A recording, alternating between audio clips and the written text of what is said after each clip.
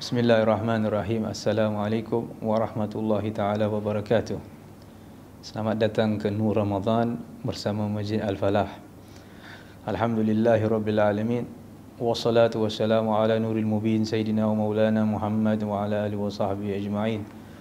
اللهم صل على سيدنا محمد قمر الوجود في هذا اليوم وفي كل يوم وفي اليوم الموعود سرا وجهرا في الدنيا والأخرى وعلى آله وصحبه وسلم Rabbi syrah li sadri wa yasir li amri wa ahlul uqdata min lisani yafqahu qawli. Subhanaka la ilma lana illa ma 'allamtana.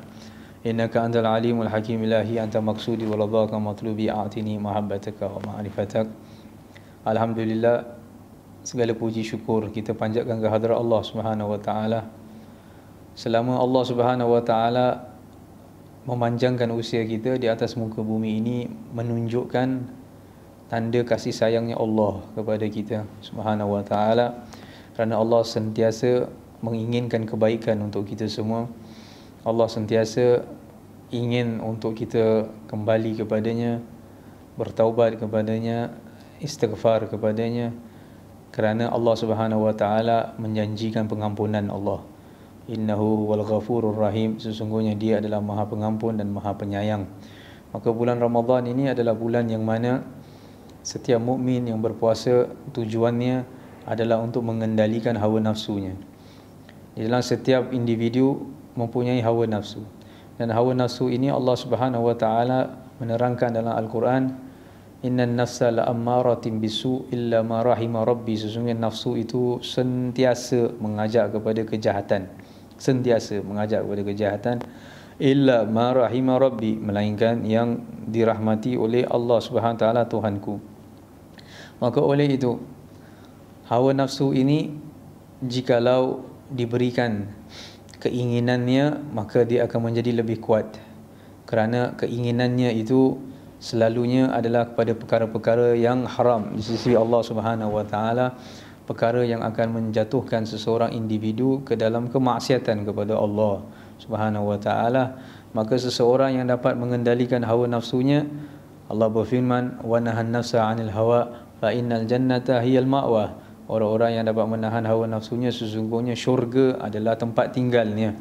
Oleh itu bulan Ramadan adalah bulan yang mana kita melatih jiwa kita melatih nafsu kita yang telah banyak melakukan kesalahan yang telah banyak melakukan kemaksiatan itu supaya ia menjadi lemah dan supaya ia patuh kepada arahan Allah Subhanahu wa taala kepada sunnah Nabi Muhammad sallallahu alaihi wa alihi wa sahbihi wasallam seperti mana al-Imam Al-Busiri mengatakan di dalam qasidatul burdahnya fala tarum bil bil ma'asi kasra syahwatiha inna ta'ama yugawi syahwatan nahimi Janganlah kamu menduga bahawasanya untuk mematahkan hawa nafsu itu adalah dengan menuruti hawa nafsu itu. Sesungguhnya makanan itu jikalau diberikan kepada seseorang seseorang itu akan ketagih. Seperti mana nafsu itu akan ketagih dengan melakukan perbuatan yang tidak diridai oleh Allah Subhanahu wa taala. Maka oleh itu al-Imam Al-Ghazali rahimahullahu taala mengatakan dalam kitab Minhajul Abidin ada tiga perkara bagaimana untuk kita mengendalikan hawa nafsu kita.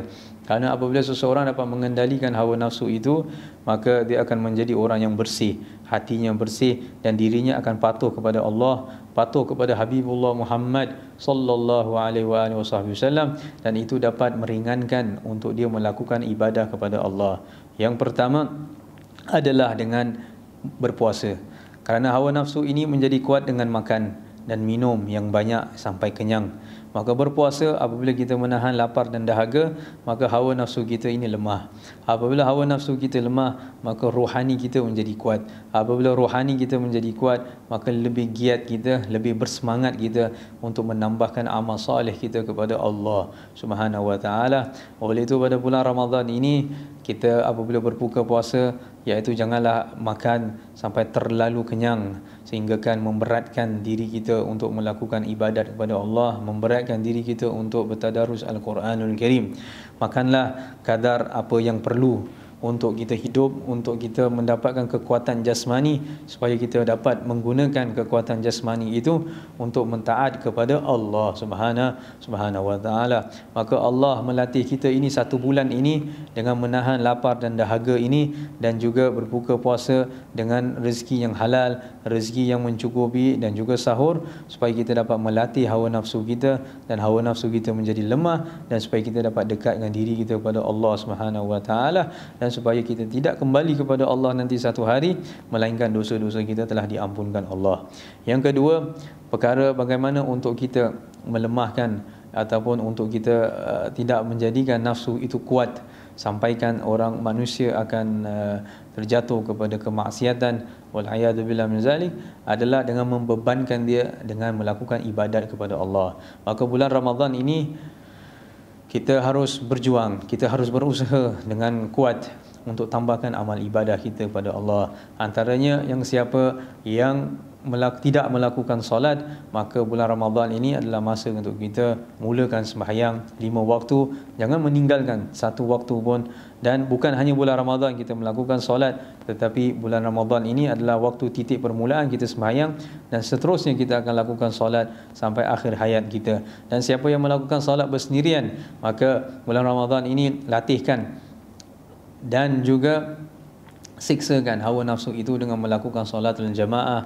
Kerana Nabi sallallahu alaihi wasallam bersabda solatul jamaah khairu min solatil fat bi 27 darajah sembahyang jemaah lebih afdal daripada sembahyang bersendirian dengan 27 darajat. Maka ambil kesempatan ini untuk kita sembahyang jemaah di masjid ataupun di rumah bersama keluarga kerana itu akan mengikatkan hati kita dengan Allah dan juga akan mengikatkan hati kita dengan para-para jemaah yang kita sembahyang bersama dan juga mengikatkan hati kita dengan keluarga kita.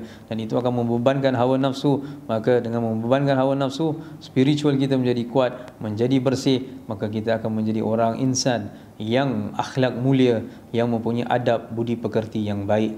Dan yang ketiga cara untuk kita melawan mengendalikan hawa nafsu adalah berdoa kepada Allah Subhanahu wa taala. Kerana Allah Subhanahu wa taala yang yang menciptakan hawa nafsu ini maka minta Allah Subhanahu wa taala supaya kita ini kuat dalam berjuang dalam kita melawan hawa nafsu ini. Seperti mana firman Allah Subhanahu wa taala Allah Subhanahu wa taala walladzina jahadu fina lanahdiyannahum subulana.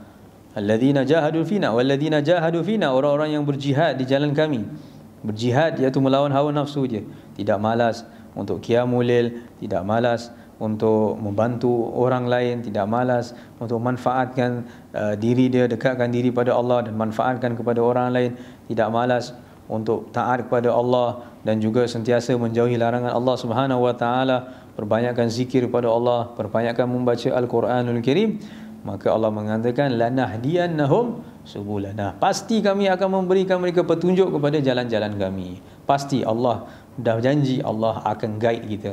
Allah akan bimbing kita. Maka mudah-mudahan pada bulan Ramadan ini bulan yang mana kita akan mendapatkan guidance daripada Allah, bimbingan daripada Allah Subhanahu wa taala dengan mengikuti ajaran Al-Quran dan mengikuti ajaran Nabi kita Muhammad sallallahu alaihi wasallam. Dan mudah-mudahan bulan Ramadan ini adalah bulan yang mana kita dapat mengendalikan hawa nafsu kita, kita dapat kalahkan syaitan supaya kita dapat dekat dengan Allah Subhanahu wa taala supaya kita dapat menjalinkan dua hubungan hablum minallah wa hablum minan nas ikatan kita dengan Allah baik dan ikatan kita dengan makhluk-makhluk Allah pun baik mudah-mudahan Allah hapuskan segala kesalahan kita, dosa kita, menaikkan darajat kita. Semoga Allah ampunkan dosa umat Nabi sallallahu alaihi wasallam.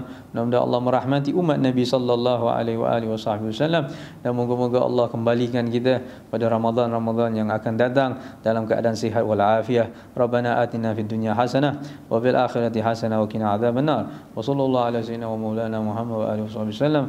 Alhamdulillahirabbil alamin.